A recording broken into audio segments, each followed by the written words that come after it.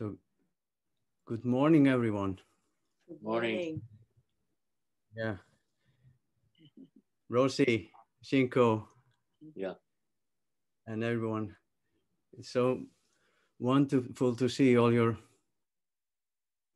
all your face on my screen. I say good. I say uh, good morning, but actually it's uh, it's 7 p.m. in the evening here in Iceland. You know, pretty dark. Uh, th- this time of year, the sun's up around uh, before 11 a.m. and goes down around 4, 3.30 in the afternoon. So it's pretty dark. but uh, can you, you can hear me well? Okay. Yeah, good, good. So I, I'm really privileged to to be here with you, and I, I, looking forward for to it uh, for many days, and uh, and and, and uh, wondering what I should really say. But then I, when I see myself on the screen, I say, what what really happened? Because life takes uh, so sudden uh, turns. And I, I started um, reviewing when when I first met Roshi. Roshi has um, I think becoming to Iceland since 87 and I met him uh, I think 97 or 8 maybe and because someone uh, when I uh, first encountered Zen, I started sitting Zen. Maybe I was just uh, had been sitting for maybe a few weeks. Oh. Uh, someone said to me, "Why you should you should come uh, for a session," uh, and and so I well, well, he told me that maybe it was better to just come the last day and and for the maybe for the last sitting, maybe the four last sittings on the last day. So I said, yeah, of course, and I didn't know what sessions, but uh, I went anyway. And uh, I just remember it was so it's so clear in my mind, like it was yesterday when I was. Um, I thought, of course, it was a lot of sitting, like four sittings, like before the end. And uh, I was wondering where the teacher was because uh, Roshi wasn't in his seat, but there was an empty seat on the right side of the al- altar. So I just remembered when I was sitting, maybe the third sitting, and I were saying to myself, where is this this guy who's supposed to be here and and I kind of turned my head like this and and there was a door and on the door there was a circular window. And when I looked at the the door and the window um, Roshi's face was was was in the window was looking at the at the new guy who was sitting in the center. And I was so startled. I just and I, I quickly turned toward the, the wall and, and sat quietly for the rest of the sitting. It's just, you know, you know, when you remember clearly when you see someone or meet someone for the first time, it's it's hard to explain, but it was such a it had such an impact on me of course, I, I know anything about Zen or, or, or practice for that matter. And I had all kinds of ideas about uh, practice. And I was, I remember I was uh, surprised that Roshi would drink coffee because I, I think, I thought teachers wouldn't drink coffee or, or they wouldn't, you know, do the normal things that we, we normally do but I, I remember after the, the sitting, I, I, I would sit, I sat down with them and had coffee and some something to eat, and and I remember they all laughed a lot. It was a lot of fun. so they were laughing, and I remember I asked Roshi, "Is this how you get when you sit that much zazen?" And he and he said, "Yes." but there was a lot of uh, you know like after scene and there was a you know this bit was you know great. But i i thought i would might uh, say something about me and and and maybe something about iceland. Um maybe uh read a, a poem icelandic for you. Just a short one and and, and tell you and, and attempt to um, translate it into English. But sometimes I wonder how Dharma or the teaching, how how it happened, you know, how it to Iceland. But actually, it has always been in Iceland. Dharma has always been in Iceland. Uh, and even even Shakyamuni Buddha, when he uh, he discovered the Dharma already there. And when we chant the, the names of our um, the teachers, the Butsu, uh, there there are six Buddhas before Shakyamuni Buddha, and and that's um, saying that the, the Dharma was was always there. But actually, but Buddha he, he discovered that he he looked very deep into our um, existence and our nature. And he discovered something something very intimate very deep. And uh, he decided to to put it into a, a teaching and, and he decided to to tell us about it. And then we have the, the lineage after. I think may, maybe we, we humans, we, we are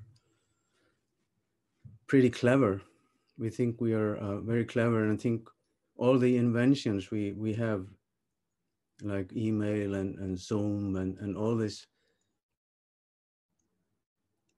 it's uh, an invention, it's possible because it's already there. Like the Dharma of Buddha nature is already there. So we can, uh, when we put the right things together, something appears. So just like fire, when we we uh, we create fire, it seems like there's no fire, but when you put the thing, the right things together, we there's there's fire. Something appears, and it doesn't appear from nothing. Nothing appears from nothing. It's just when things come together, things appear, and. Uh,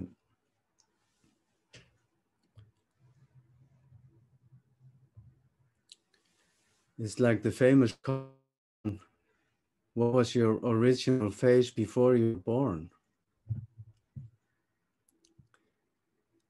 It's uh, it's quite an invention or quite a discovery. And I remember Roshi told me that this this is the most important discovery that human beings can can make or have made. And uh, I, am really, you know, because I'm make an effort to study and, and to, to sit and to practice. And uh, I was I was reading in the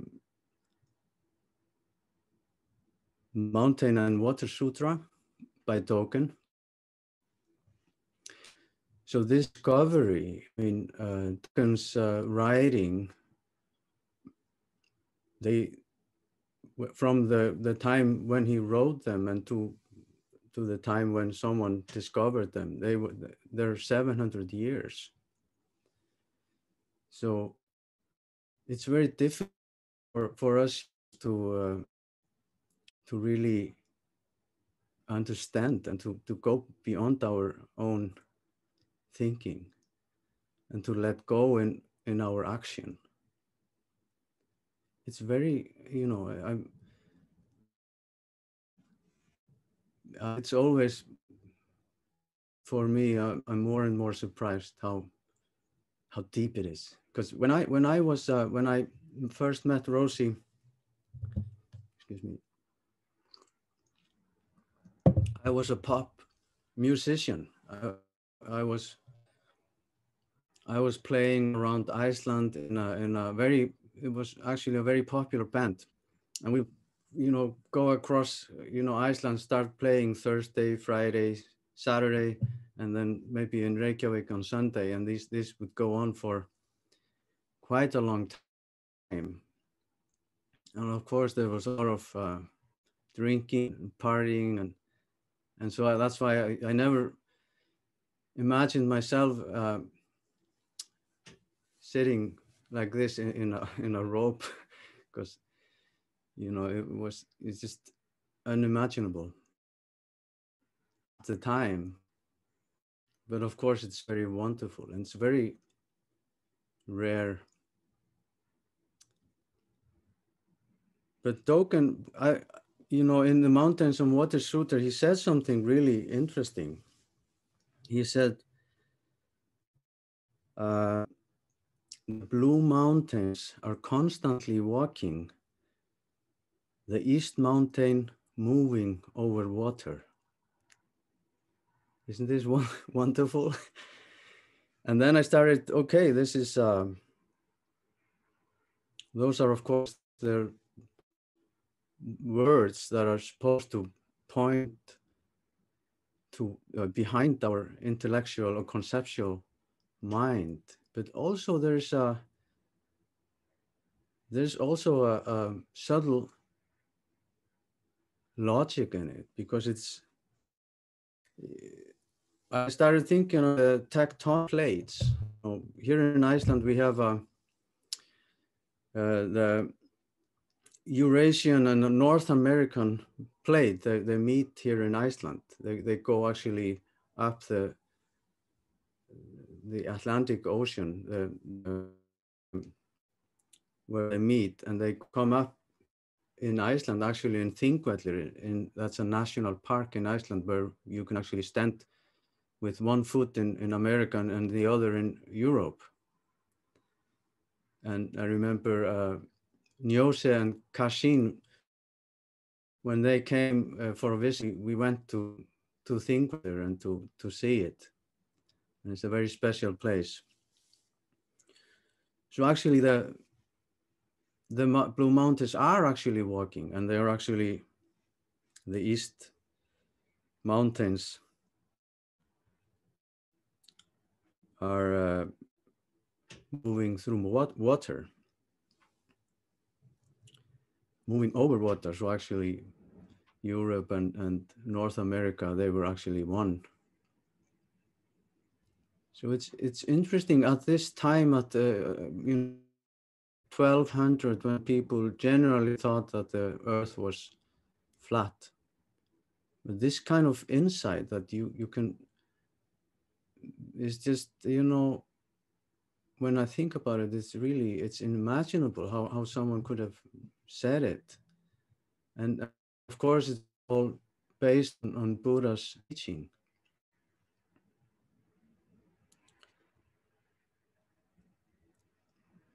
And also that uh, that we actually are the mountain and are the water. You know, this is this is also very kind of uh, how or you know, as, you know, if I if I take this glass of water and I, I and I, I say this may, maybe this water is, is me already or or is it when I drink it or is it when it's in my stomach and when it's into my body is it then me or when when exactly does this water become me since I'm 80% water, you know. And also minerals in us, iron and, and all kinds of minerals, just like the mountains. So we we cannot ex exist in a void. We have to exist simultaneously with everything. So maybe, you know, because uh, human beings like intuitively have known, you know, even before Buddha.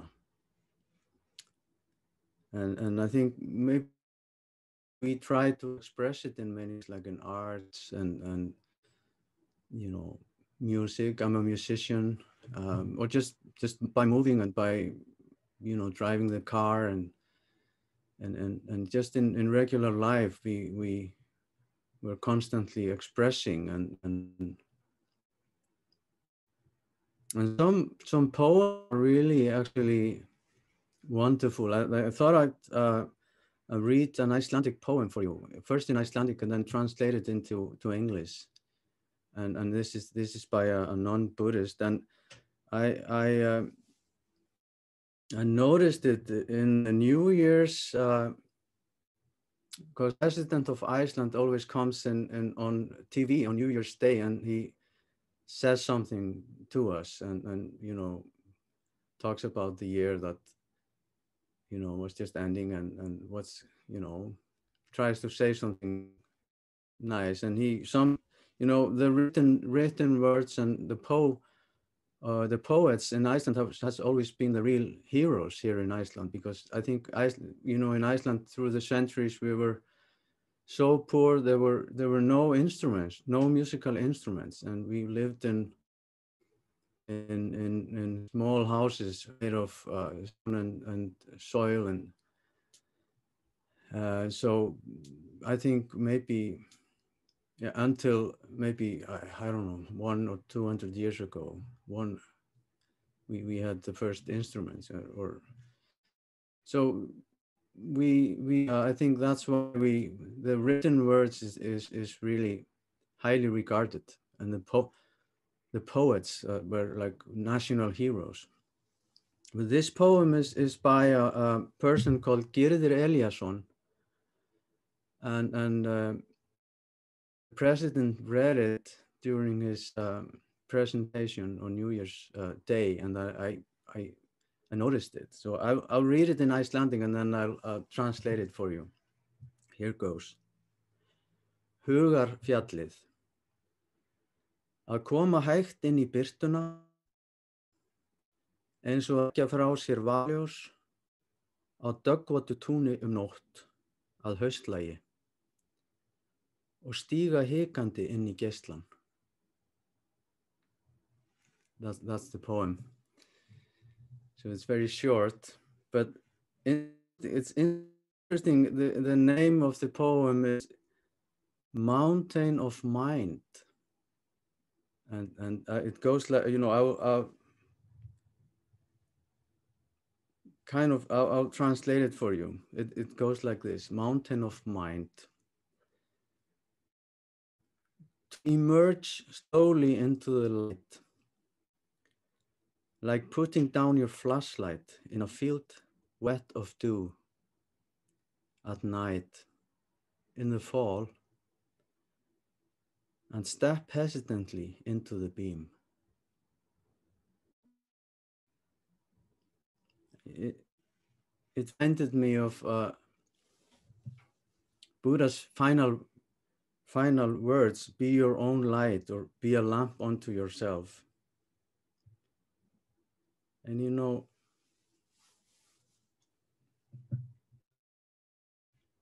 being our, our own light, discovering our own light, I think it's so important. And in some of sutras, like in Sandokai uh, by Sekito Kisen, I always thought it so beautiful when when it says uh, within light there is darkness, but do not try to understand that darkness. And within darkness there is light, but do not look for that light. Light and darkness are a pair, like the foot before and the foot behind in walking. I, I think it was around, wow, it's 25 minutes past already. Okay. I was just starting. anyway, so I, um,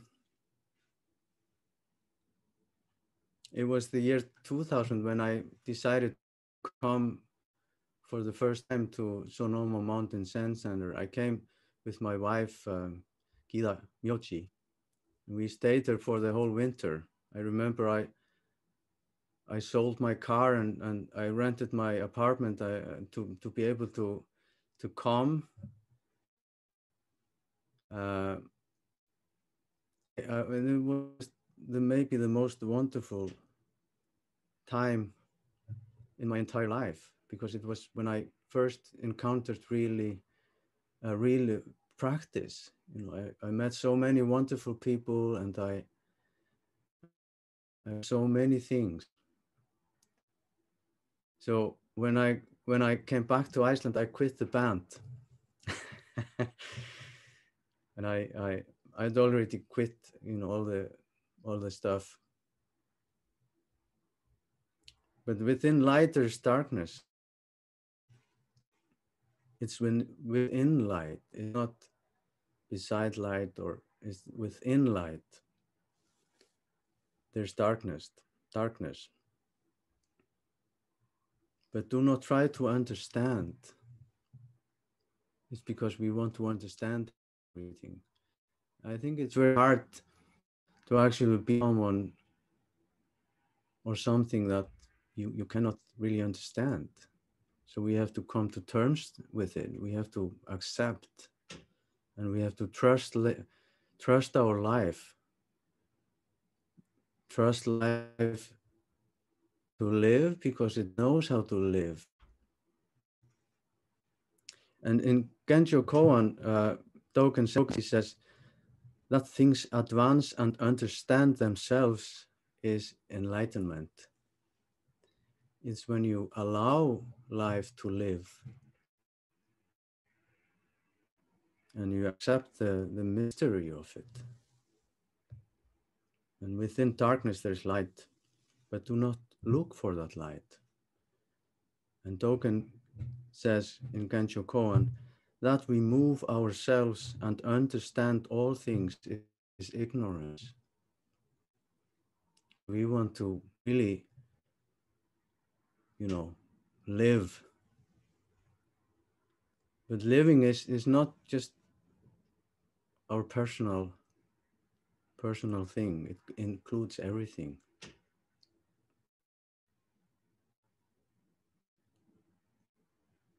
There's no beginning, no end. And light and darkness are a pair like the foot before and the foot behind in walking.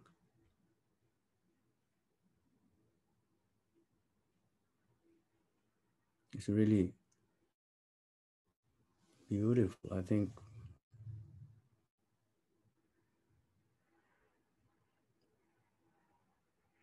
the commu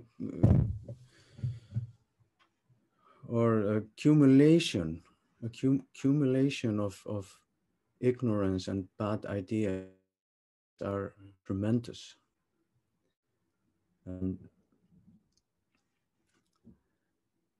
because uh, there's another sutra, the Great Light Dharani, also talks about the light, but it also talks talks about the disaster. And I, when I was in Sonoma Mountain in the year 2000, I, I, I stumbled. I, I didn't like this word because I thought, you know, I was pretty bad, but you know, disaster, maybe, maybe not, but maybe, maybe I was.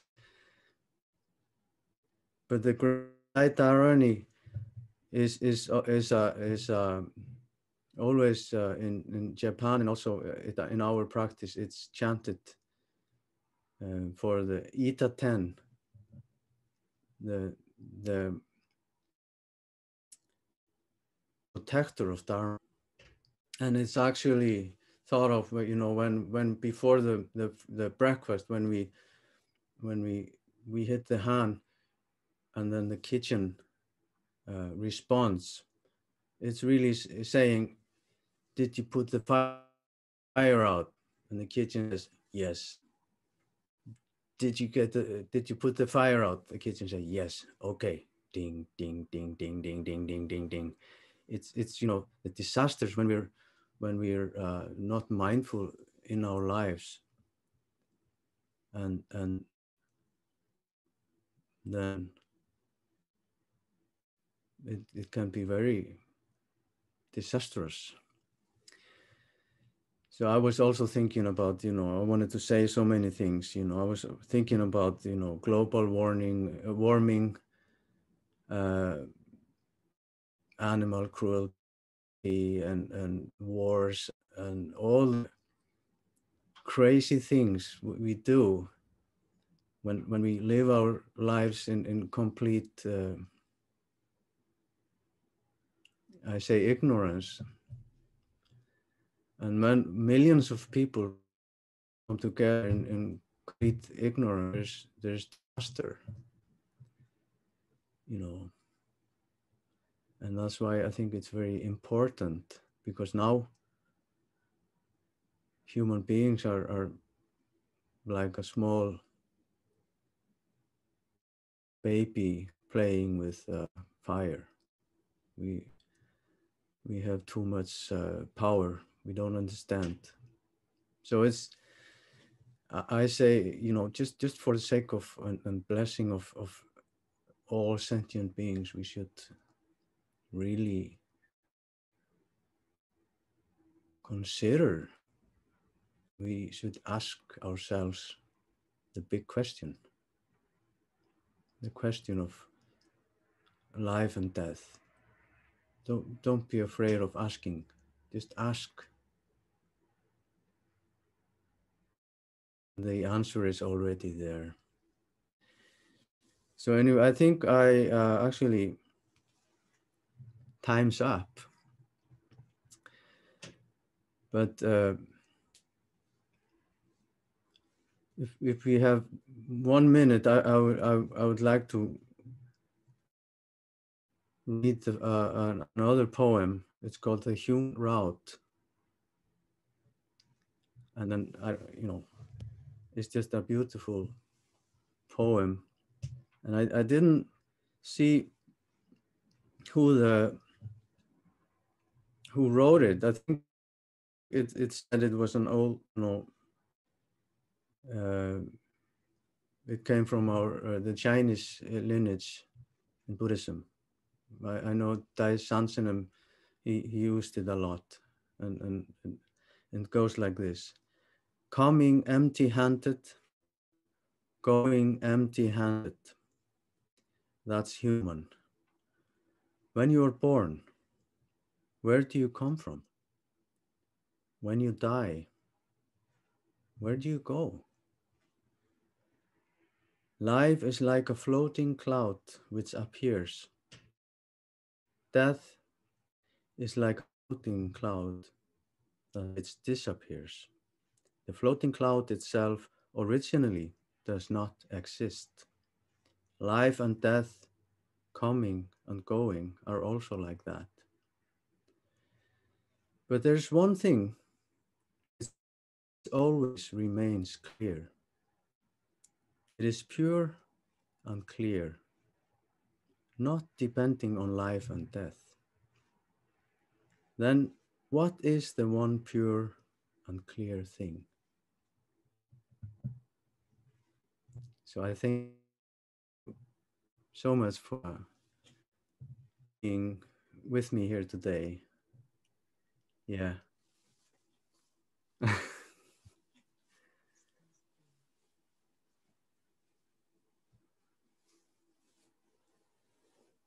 so should we uh?